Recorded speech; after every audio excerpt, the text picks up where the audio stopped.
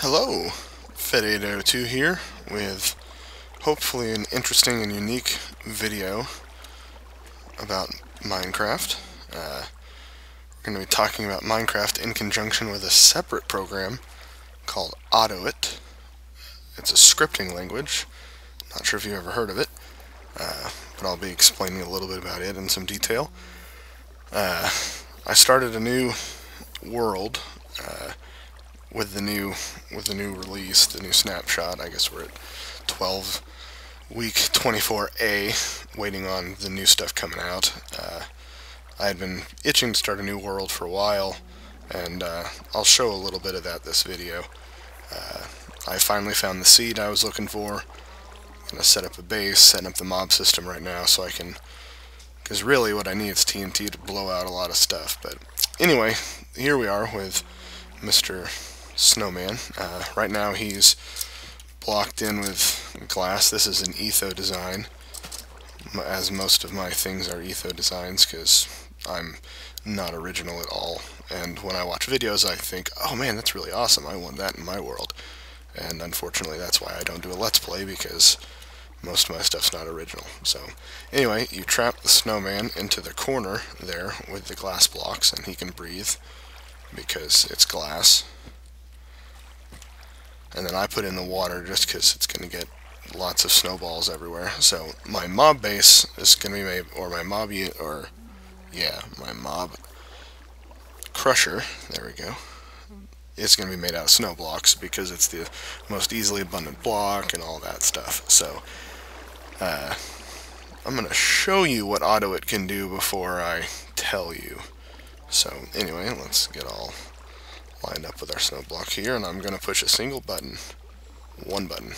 Oh, you know what? I've got to make sure that the that the program is running. Real smooth there. Real smooth. Alright. And one button.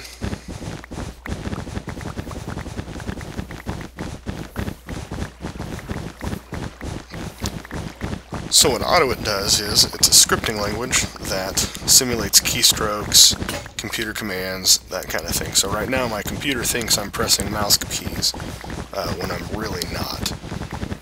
Uh, which is going to save my mouse, you know, several hundred clicks a piece from having to actually manually harvest all of this snow.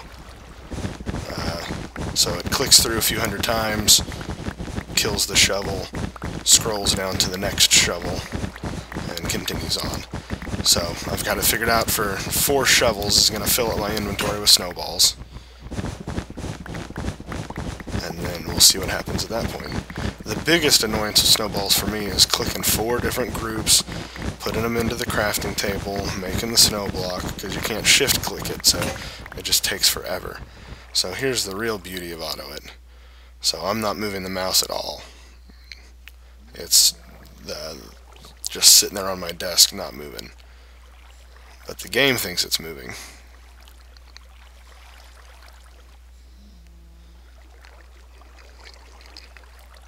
I know some people would say the, the easy alternative in, to this is just to move over to creative mode and create the blocks that way.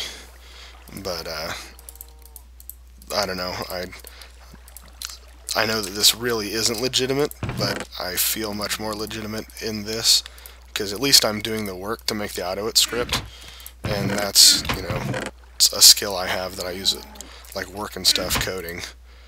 So I'll show you that again.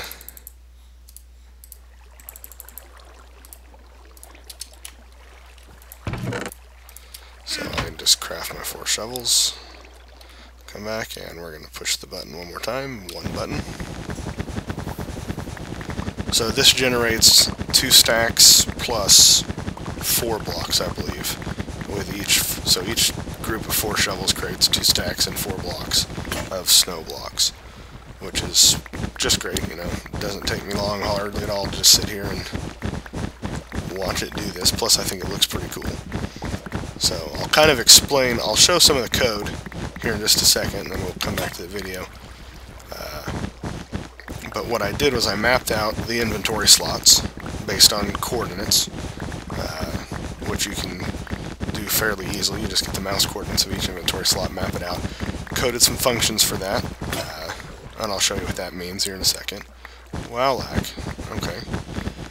And uh, basically, after I coded the function, I didn't really even need to know the code anymore. I could just tell it, okay, do this function and move this inventory slot to this inventory slot, and it'll do it. So, uh, there are functions I can use in the future if I find other applications that I'm just repeating the same mundane tasks over and over and over a few hundred thousand times. Uh, which might be neat. And if I do anything like that, I'll definitely definitely post videos of it. But I wanted to show how powerful AutoIt was uh, for neat little applications like this. Uh, for anybody watching from the AutoIt forums that is concerned with game automation, I have been over the end user license agreement with Minecraft repeatedly, and it is very clear that they want you to do stuff like this. In fact, the EULA says anything you find that's not, you know, or anything you do with the game that's not copyright infringement is okay by us, and we actually encourage it. So the end user license agreement is encouraging me to use AutoIt with Minecraft. So just in case anybody was concerned. So let me hop over to the code and I will give you guys an example of that. So here we are looking at the actual script file. Uh, you can go to AutoIt, I believe, uh, autoitscript.com. I'll post the link in the description uh, to get the language. It's free, uh, so you can do all sorts of all sorts of cool stuff with it for free. Uh, I'll kind of explain through here now. This is by no means the best way to code this, or the only, certainly not the only way to code it. Uh, so if anybody's laughing at my poorly inefficient means of coding, well, I just did this in the in about you know half hour yesterday to to run this. So basically the the form of the script is you start with an include file. I'm including one other script file, and I'll show you why here in a little bit. Uh, I'm setting three hotkeys, the end key, the home key, and the pause key. And each of these keys do these three different things. The start function, the convert snow function, and the pause script function. So we've got those functions listed down here that I've written, and I'll show those in a second. Uh, the other thing that is key for this script is a while loop, which basically says while 1 is equal to 1, so always, then sleep for a thousand millisecond or a hundred milliseconds. And so what that's going to do is that's going to just run the script in the background. And so it's going to say, okay, 1 is 1, so I'm going to sleep, I'm going to wait, and then I'm going to wait, and then I'm going to wait repeatedly forever until I close the script. So that's going to keep it open in the background. It allows these three hotkeys to then uh, be valid. Otherwise, the script would just run through the hotkeys, say, yep, set all the hotkeys, and now we're ending. So you've got to keep it open, and so that's what this is for. Uh, so let's see what function to start with. We'll start with the inventory move function. And so what I've written here is the func command tells it we're starting a new function, inventory move, and I've given it three parameters. Uh, so inventory 1, inventory slot 1 parameter, inventory slot 2 parameter, and then the craft parameter. And I'll, I haven't really used that much, but I'll get to that in a second. If you set parameters equal to something in the function header, it's going to tell it that this is the default setting. So these two are I have to put in to tell the function what to do. If I don't include one of those two, the function will fail because it doesn't know what I'm doing. Uh, this third one I do not have to put in every time. If I don't put anything in, it'll assume zero. Uh, otherwise, it'll put use whatever I put in. Uh, so next, I'm setting. Of course, none of this is going to make sense to everybody, and I'm not doing it from a beginner's perspective, but just kind of quickly going through. These two things I'm setting up are arrays, and I use those for the coordinates. An array's kind of like a string except you can put more than one value into it. In each case of these I've got two. So I come through and I set, okay, if inventory slot 1, I tell it, you know, okay, so I tell them, I tell the function, I want you to move inventory slot 10 to inventory slot 2. So it comes through here and it says, okay, if inventory slot 1 is greater than equal to 1 or less than or equal to 9, then these are the coordinates. Well, it's not, so we put in 10. So if inventory slot is equal is greater than or equal to 10 or less than or equal to 18, then use these coordinates. Well, that's the one we selected, so we're going to use those coordinates. So we come in and we tell it, okay, the first coordinate is 500 plus the number of the inventory slot minus 10 times 35. And so what that allows me to do is I don't have to program in the inventory slots for all of row 2. So I can tell it row 2 starts at 500 and then increments 35 pixels every inventory slot. So this actually fulfills the need for nine invent or yeah, nine inventory slots. So it just the rest of this is just going through for the other inventory uh, or for the rest of the inventory. These four are the crafting table. And then this second thing repeats for the second inventory item, which I could do more efficiently uh, with some loops, but I just did it this way because copy paste was just fine with me. Uh, and then we tell it, okay, mouse click left at the coordinates we've given it. So mouse click is a is a default function that comes with the script, and so its parameters are you tell it what key, so left, right, middle. If you're pressing any of the other buttons on a mouse that may have more buttons, uh, and then tell it, all right, coordinate 1, so the x coordinate, then the y coordinate, we're telling it to click once, and I'm telling it with a speed of 3, so I can actually speed it up to make it instant, but it's a little too fast for the Minecraft handle to handle, so I had to slow it down just a little bit. Uh, we're telling it to sleep for 100 milliseconds, which just gives the game time to move the mouse and click. Uh, we're doing another mouse click at the second coordinates. So it's going to click on the first inventory slot, it's going to move to the wherever you want it to go next, and it's going to click again in the second inventory slot. So again, it's just left click the x coordinate, the y coordinate, clicking once with a speed of 3. So in the video you saw it was crafting all those snow blocks. So the easiest way I found to do this was to create another function. So we've got craft here, and we've got two parameters. We've got the amount we want to craft, which defaults to 1, and the inventory slot that we're going to put it in after we're done, which defaults to 1. So here I've done a loop, uh, a for loop, and so what that means is it's going to basically repeat the section from the for to the next as many times as I tell it to. So it's going to repeat from 1 to however many I put in. So let's say I put in 10 here. So it's going to count from 1 to 10 every time. Well, if I tell it 10. If I tell it 50, it's going to count from 1 to 50. See how that works. And each time it counts, it's going to increment the i variable. And so what that's going to mean is it's going to allow us, I don't use it here, but if I wanted to increment you know, each time through, then if I put the i variable in, it's going to be changing that number each time through the for loop, which makes it really easy. Uh, I, I think I use that up. I use that up here, so we may we may talk about that here in a second. But uh, anyway, so it's going to click left click, and then these coordinates are the coordinates for the to the right of the crafting table where you're actually crafting the unit. So in uh, in the example in the video, I was crafting 16 blocks each time, so it was just clicking 16 times up in that box to create the blocks. Uh, you can do shift click, but I was having trouble with the shift click, so I just went with the regular click. It was reliable, worked every time. So uh, after I've clicked 16 times, then I've got the inventory move command that I wrote, and I'm telling it you're going to move it to from 1 which won't make sense, but I'll tell you about the crafting variable here in a second. And then you're going to move it to whatever inventory slot this function is telling you. So you can actually pass variables down into the functions. So we're going to be moving it into whatever inventory slot you put up here. And then lastly, I've included the crafting variable, which if you'll remember, up here defaults to 0. And in the previous function I didn't mention it, because I was going to mention it now, uh, I put before the first mouse click the first inventory slot click if the default or if the value of scraft variable is 0 then mouse click.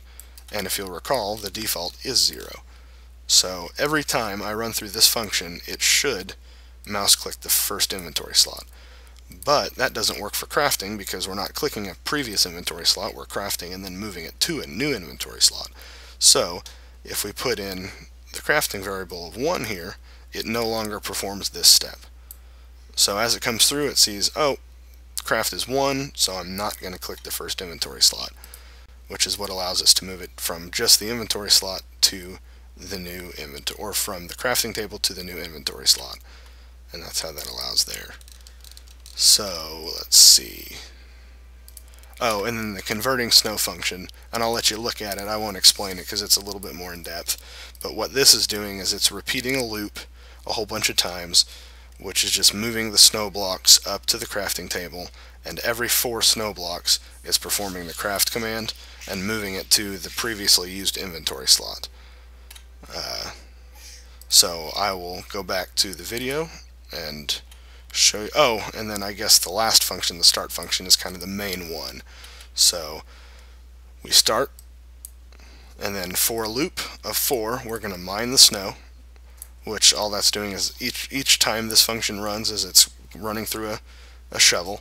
So, you know, one shovel destroys, then we're going to mouse wheel down, so that selects down. And these this is a native function as well. And then it's going to repeat, so killing the second shovel, down, third shovel, down, fourth shovel, down.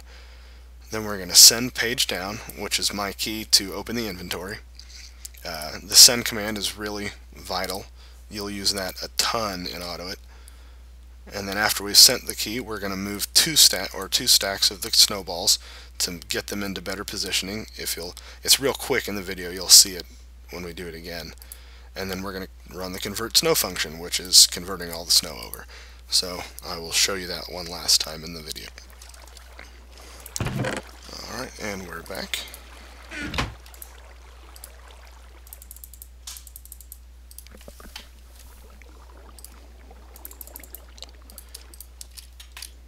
Hopefully that wasn't too hideously boring of an explanation.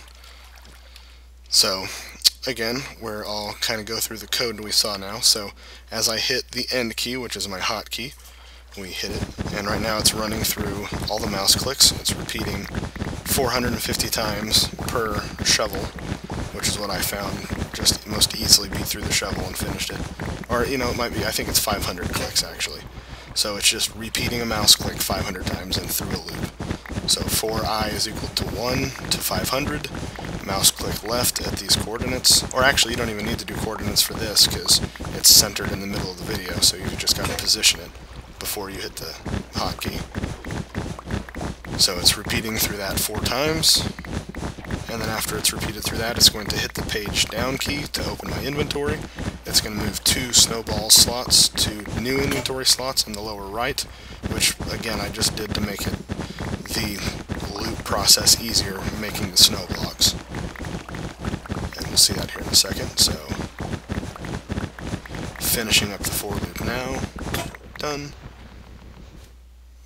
page down, move the two blocks, and so now we're going through the big loop, which is just going through each inventory slot. Again, coded as inventory slots, not as coordinate planes, or not as coordinates.